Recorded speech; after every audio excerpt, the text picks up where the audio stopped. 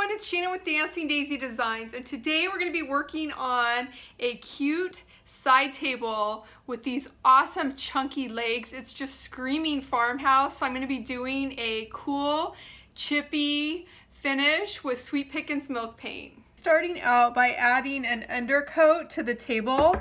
This blonde wood, I really don't want to see that whenever the milk paint chips off. And so I'm going to paint it with this dark brown. It's called Weathered Wood by DIY Paint. And um, I'm going to go ahead and I'm just gonna give it a coat of this. And then I'm going to seal it before I put my milk paint on. One coat of weathered wood and it's just drying up and then I'm going to do some awesome milk paint. The table is all ready to go for the milk paint. I put a coat of the uh, weathered wood on it and then I sealed it so um, it'll be a nice underlayer for our milk paint when we get the chipping and the cracking that we want. And I've got my milk paint here and this is Sweet Pickins milk paint and the color flour sack and you can see the color right here. It's uh, it's like a little bit of a um, not a pure white, a little flour sacky.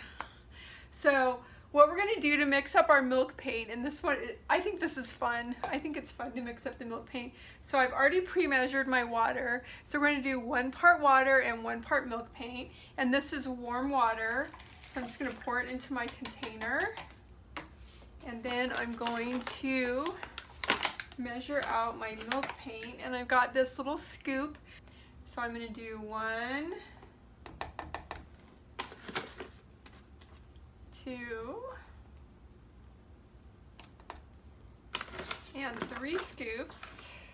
And then what I'm gonna use to mix it up with is called an immersion blender. And you can get these on Amazon for about, I don't know, like less than $15. But you don't have to use this. You can use a uh, um, whisk or a fork or something like that is fine. Now we're just gonna mix it up.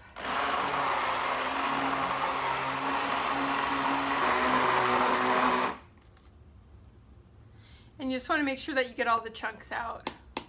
After you mix it up really well, then you wanna let it sit for maybe like 10 minutes.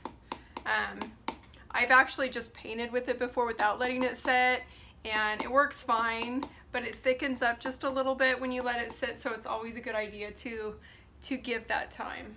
Milk paint's been sitting for about 10 minutes and as you can see it thickened up and we're gonna get painting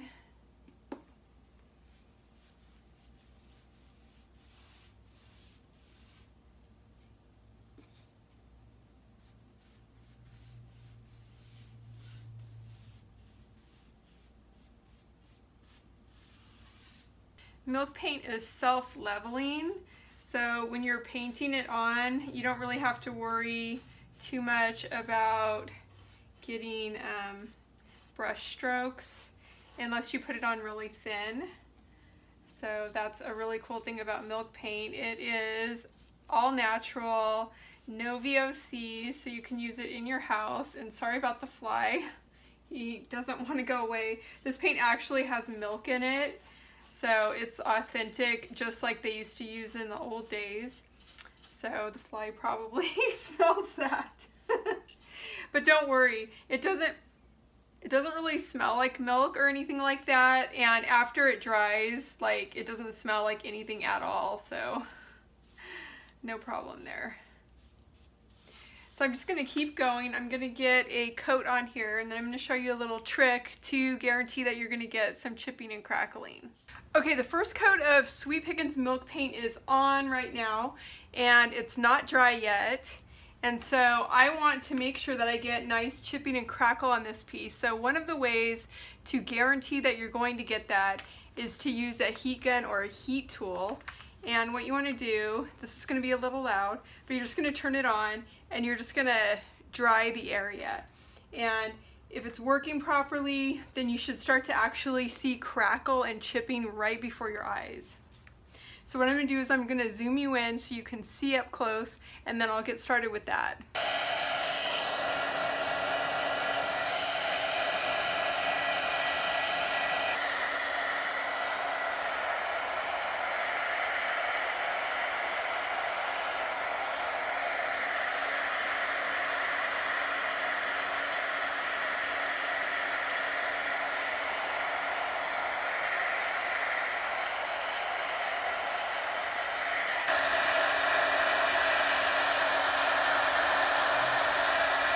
This is what it looks like with one coat.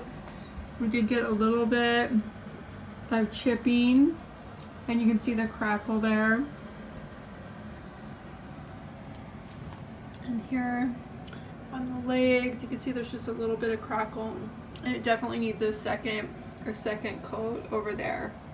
So I'm gonna put a second coat on and let it dry. I let it dry overnight and I did use the heat gun to make sure that I got a lot of chipping and cracking. It didn't seem like it was going to do much and so I made sure to um, go over it with the heat gun. I uh, want this to be extra chippy and crackly and so I achieved that look definitely. Milk paint will automatically do that on its own in some cases. Like I said, it's a little tricky so you can't guarantee it.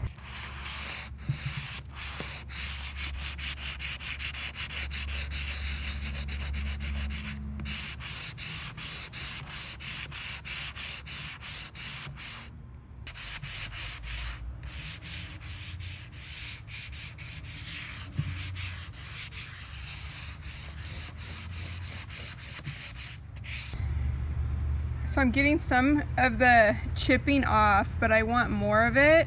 So I'm going to wet distress it by using just a wet rag and that's actually going to reactivate the paint a little bit and it's going to cause it to chip off even more in the areas we already have chipping.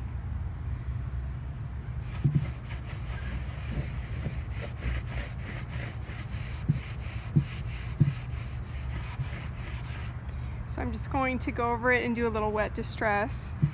And then after it has some time to dry, it should start to crackle a little bit more in the areas, especially where there's already crackle.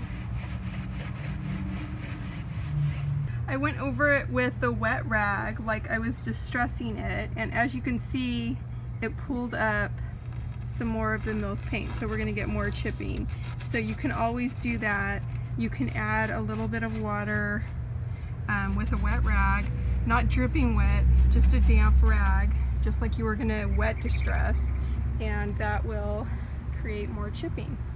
You wanna make sure that you get all of your chips off before you seal, and this will continue to chip just a little bit um, over the next maybe like 12 hours. So I like to just give it like a, a sanding, um, distress it, however I'm gonna do it, and then let it sit. And then before I start with the sealer, I'll just do it, hit it one more time just to make sure that I got all the extra um, chips off. Usually I just use a, um, just a dry rag for that. I let my table sit for about an hour. I'm happy with the amount of chipping that I have, so I'm gonna go ahead and seal it. Um, I went ahead and I just wiped off some of the excess chipping that was happening and um, I just want to let you know something else is that you're not going to be able to get every little teeny tiny chippy off of here. Um, and it is going to feel a little rough to, your, to the touch. That's because the paint is peeled off in spots and that's very authentic. And so um, you just do do the best you can, get, get most of it off, and then whenever you seal it and you wipe it back from the sealer, you'll get a little bit more chips off, and that's okay, it's expected. I'm going to be using Sweet Pickins oil wax to seal this piece and this is the clear.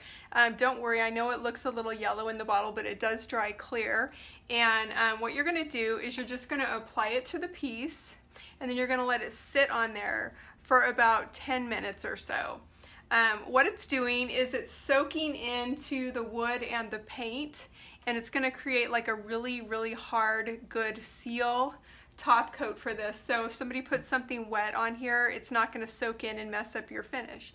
So this creates a very nice hard finish and um, very good for anything that's chippy. So I'm going to put it on with a brush.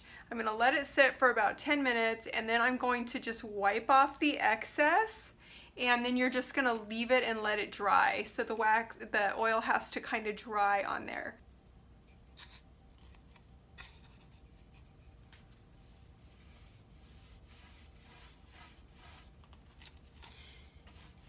I like to use a chip brush to put the oil on because this is an oil-based product and so it's not going to wash out of your brush just like the water-based paint will with water. So I like to use a chip brush for this. That way I can um, use it a couple of times for oil wax and then I can toss it.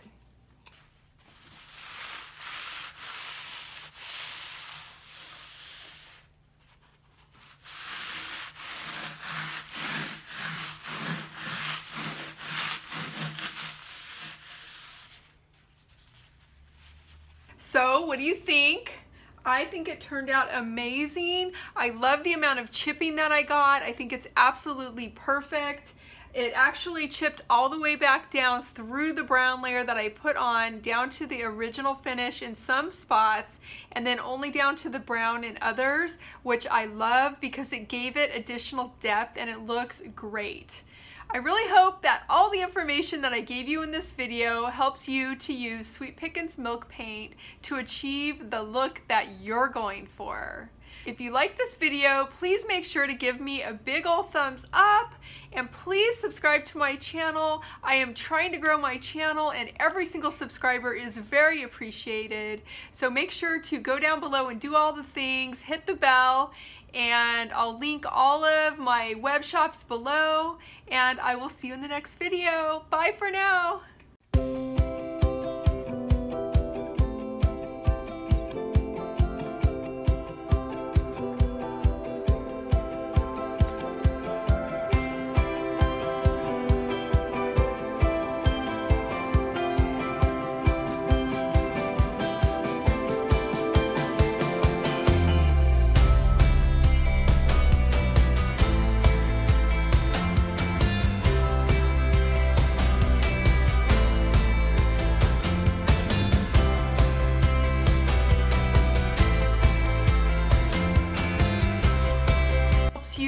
Sweet Vic Sweet helps you to use Sweet Pickins milk paint to make a wonderful